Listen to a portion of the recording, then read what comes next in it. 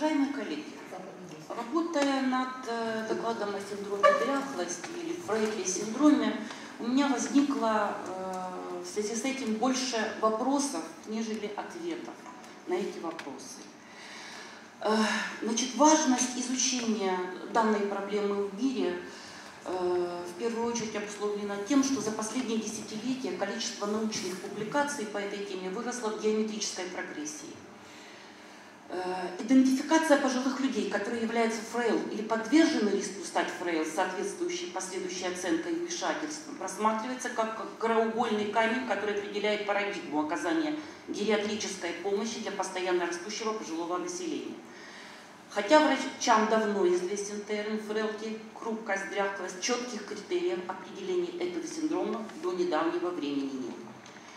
Еще один вопрос, который у меня возник, это вопрос терминологии. Как мы его в Украине назовем? Фрейки, крихкість, дряхлість, слабкість, функціональна слабкість, функціональна неспроможність, безпорадність, безсильна нездатність, недужість, хилявість, охлявість, ветхість. То есть этот вопрос, который требует в настоящее время, то есть мы должны определиться в первую очередь с термином как мы будем называть его в Украине. В России это называется хрупкость. То есть они ну, прямо перевели этот синдром и назвали его хрупкость. Значит, фрелки – это многомерная концепция, которая учитывает сложное взаимодействие физических, психологических, социальных факторов и факторов окружающей среды. В данном докладе я буду говорить только о физической дряхлости, о физическом фрелке. Значит, что такое фрелки? Определение. Это гериатрический синдром, характеризующийся ассоциированным с возрастом снижением функционального резерва, приводящим к его уязвимости к воздействию внешних и внутренних стрессовых факторов, влекущим неблагоприятные медико-социальные последствия. Обычно он проявляется общей слабостью, медлительностью, непреднамеренной потерей веса. Синдром старческой ну, астении, это э, вот в дальнейшем я буду называть или старческая астения, или фрейди этот синдром, тесно связан с другими гериатрическими синдромами и полиморбидностью. Может быть потенциально обратим, но чаще прогрессирует, чем регрессирует, влияет на тактику ведения пациента. Развитие Фрелки происходит постепенно, однако снижение уровня функциональной активности у пациентов с синдромом Фрейки может произойти достаточно быстро в любой стрессовой ситуации. Это может быть обусловлено инфекционным процессом, госпитализацией, сменой лекарственной терапии. У таких пациентов высока вероятность нарастания зависимости от посторонней помощи, а восстановление происходит медленно. Развитию синдрома Фрейди предшествует префрейди, характеризующимся наличием отдельных его признаков, количество недостаточных для постановки диагноза. Э, распространенность этого синдрома в мире. Значит, э, смотрите, от Швейцарии, в котором степень распространенности 5,8%, до Испании 27,3%. Какова распространенность в Украине, по сути дела, мы не знаем. Это еще один вопрос, который стоит перед нами. Значит, патогенетический, патогенетический круг формирования синдрома Фрейди. Синдром мальнутриции, саркопения и снижение метаболического индекса представляет собой замкнутый патогенетический круг формирования синдрома слабости. При минимальных внешних и внутренних воздействиях к этому кругу присоединяются другие факторы, что способны в минимальные сроки приводить к ухудшению состояния, инвалидности и смертности. Вот такая диаграмма. Значит, основные факторы риска. Возраст, генетический фенотип, фрейлайк – встречается в возрасте 65-70 лет в 3-6%, стаж свыше 85 лет 56%. Приобретенный дефицит функции на фоне полиморбидности, пол чаще наблюдается у женщин, чем у мужчин, уровень образования встречается чаще у лиц с низким уровнем образования, семейный статус чаще возникает у разведенных и вдовцов – социально-экономические условия. Я бы сюда еще добавила этнические особенности. У лиц латиноамериканского происхождения он тоже встречается чаще, нежели у европеоидной. Ну, это распространенные сплетки мужчин и женщин. Это, Значит, к факторам риска развития помимо возраста и социальных факторов относятся также низкий уровень физической активности, плохое питание, депрессия, полипрагмазию. Не все, но большая часть пациентов имеет несколько хронических заболеваний, выявлены ассоциации с сердечно-сосудистыми и другими заболеваниями. Значит, Снижение физической и функциональной активности адаптационно-восстановительного резерва организма повышает риск развития неблагоприятных исходов, госпитализации где-то в 1,2-1,8 раз, смерти в 1,8-2,3 раза, ограничений физически в полтора, 2,6 раза и падений и переломов ну, практически в 2,8 раза. Значит, и еще следует отметить, что Фрелки мультисистемный процесс.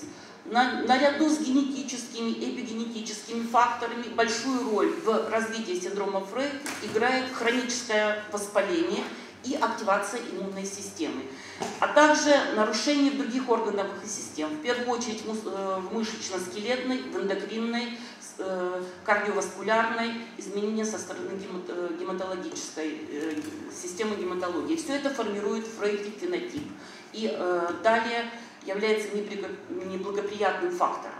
Как нужно, второй, еще один вопрос, как диагностировать? Нет единого мнения о том, как следовать оценивать Фрейдке. В отчете шести крупнейших международных европейских и американских обществ по гериатрической медицине рекомендуется, чтобы все пациенты старше 70 лет были обследованы на предмет Фрейдки. Тем не менее, они не дают рекомендации о том, как определить этот синдром. Значит, до настоящего времени не существует золотого стандарта и описано более 67 показателей, которые могут быть использованы для определения синдрома старческой дряхлости. Значит, самый простой – это субъективный тест в постели. То, с которым мы встречаемся каждый день и который используем. Я знаю, когда я это вижу, но то, что я вижу, может отличаться от того, что видят все остальные.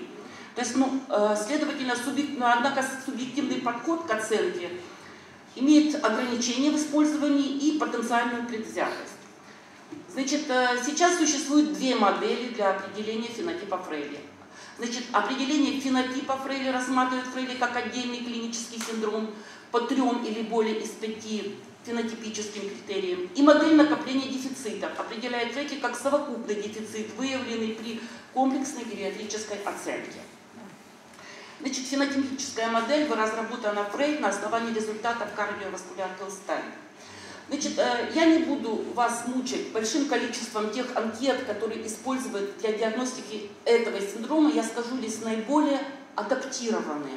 Это фрейль-фенотип, э, значит, э, которые используются ну, практически во всех европейских странах и являются наиболее важными значит, основан на пяти показателях. Потери массы тела как отражение саркопении, снижение силы мышц кистей, оценивая с помощью динамометра, выраженная усталость, замедление скорости ходьбы, значительное снижение уровня физической активности за счет расхода, э, расчета расходуемой энергии согласно анкетированию.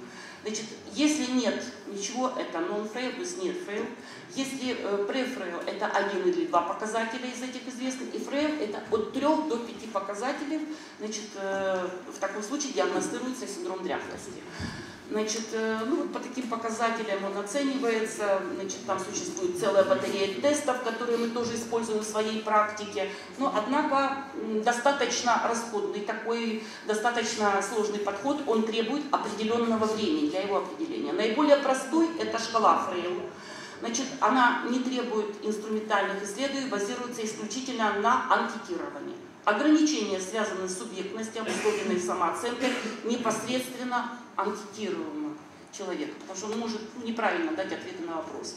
Ну, другим вариантом оценки софт-индекс э, есть. Он по трем критериям оценивает этот показатель. Значит, из э, модели дефицитов, которая предложена, наиболее такая прагматичная является шкала канадская, э, шкала исследования здоровья и старения.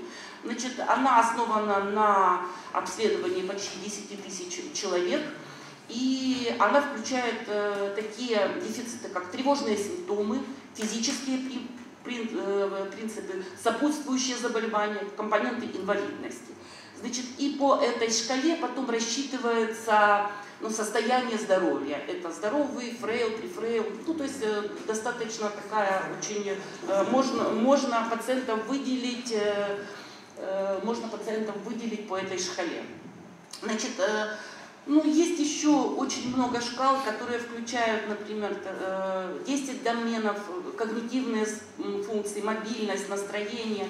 Значит, часть шкал учитывает, например, э, э, клинические показатели, другие шкалы, э, которые учитывают повышение, лабораторные показатели, это повышение уровня С-реактивного протеина, интерлейкина. Но какие мы выберем с вами, зависит только от нас. Значит, э, Вы выбрали мы пока еще не выбрали полностью, то есть мы сейчас изучаем. ваше.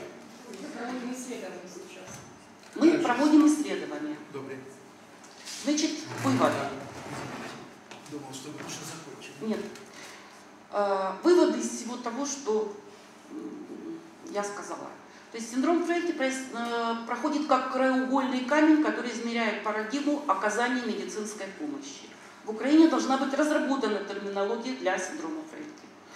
Значит, поскольку в настоящее время нет единого мнения, как оценить Фрейки, то э, эту оценку нам еще предстоит в Украине определить, какие шкалы мы будем использовать для практического здраво- здравоохранения и для конкретных клинических условий. Имеется в виду на первом, втором и третьем этапе э, медицинской помощи в Украине, поскольку они будут отличаться для первого этапа, для второго этапа и для третьего. Э, Рекомендации, касающиеся Фелти, уже включены в медицинские руководства по диабету, например. Значит, сейчас работают для того, чтобы это было воспроизведено в других областях, в кардиологии или кардиохирургии. Вот такие основные Спасибо. Вопросы? Вопросов нет, но предложение есть. Когда закончите свое пилотное исследование, то мы должны выступать тогда уже с предложениями конкретными. И о том, на каких уровнях, на каких этапах должны быть какие шкалы использоваться, инструменты для оценки. Спасибо. Пожалуйста. Так,